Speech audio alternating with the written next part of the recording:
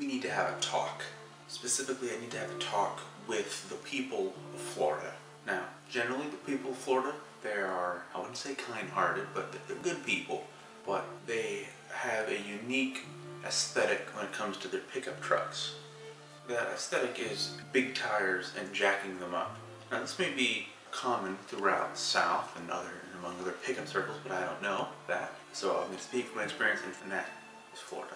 This needs to stop. It is getting to dangerous levels of big tires and massive lift kits. I'm talking the point where these the, the top of the wheel well is at my head. And at what point does a truck just stop being a truck and starts being classified as a monster truck and really shouldn't be allowed on roads? And because this this came to my attention, um, I noticed while I was walking to class that there was just in a row a series of pickup trucks. Just and it, was it fitted. The, I wish I took pictures, but it fitted the format of like the expanding brain meme perfectly. You had like a truck with big tires, and a truck with bigger tires, and a bit of a lift kit, then a truck with really big tires, and a sort of a lift kit, and then all the way at the end with massive tires that were almost about they had to be 36 inches, and a, a lift kit about that big. The point where the, the truck didn't start until about here on me. I don't understand how this happens. I believe this is the clearest evidence that toxic masculinity in action.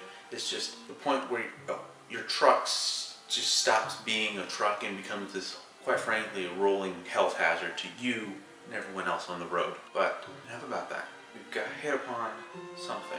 All right, management, management class. We got. I really think I'm gonna like this class since it's. I think it's, it's just really fascinating to me for some reason. I didn't expect to be like this interested in it this early, and uh, that surprised me because like uh, because. sorry if I'm talking a little faster. The light's fading, and I don't know how much battery I have left on the camera because I can't tell because the light that tells me if it's recording is broken. So, all right, back on track like so we got we've gone through like the history of management and the history of industry and working and so it's like this we've gone from like you know shoveling uh, manure and harvesting crops to working in big factories to you know typing in typewriters and now we're on the everything's on the internet and now we're in the what, what is what he like to call the creative economy or the idea economy how like businesses like they don't quite understand that and so like the old systems are really breaking, and you can see this like the old retailers, like the big giants, like you know uh, J.C. Penney, uh, Sears.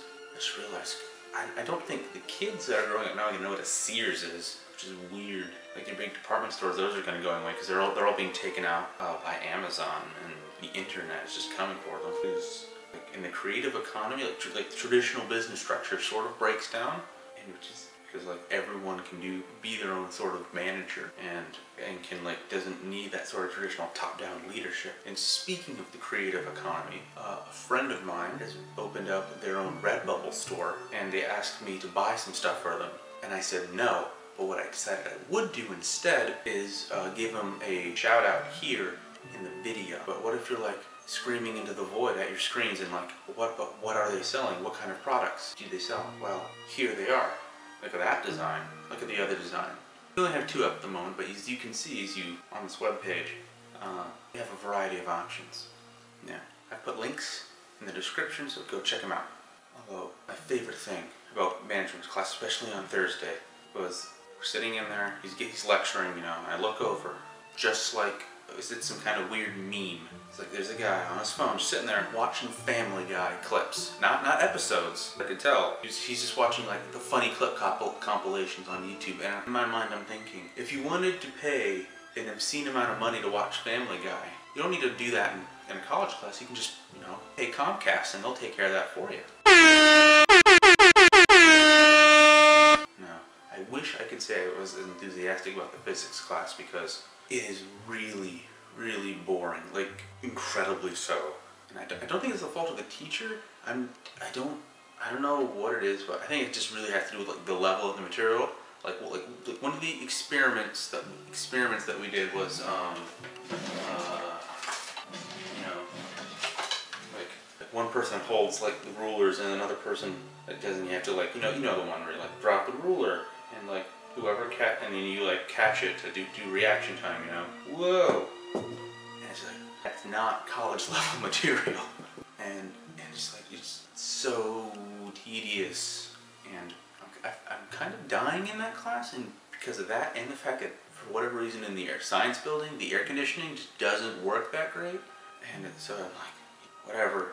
This will be just something I'm gonna have to deal with uh, for the rest of the semester. But it's not too bad. Nothing that I can't manage. Although it's not all bad, I guess. I mean, people seem, yeah, no, and like even in uh, even in that class, like like people, I, again, someone else is was watching Family Guy clips on their phone in physics too. So it's like I don't know what it is. Is it, I mean, I'm pretty sure I'm seeing a pattern where there isn't any. But what is with the connection between Family Guy clip montages and not paying attention in class? Because the way I understand it, Family Guy is the exact opposite of learning. Like if the more you watch Family Guy, the, the less you remember from school. So if you ever wanted to forget something learned in school, just watch some Family Guy, I guess, because that's the only explanation I can have. Art. Yeah, I forgot my art. My art class. Uh, the only really interesting thing uh, in that class was one of the statues that we had to look at. Um, the hat, I can show you, looks very suspect. I'm just gonna highlight that for you right here.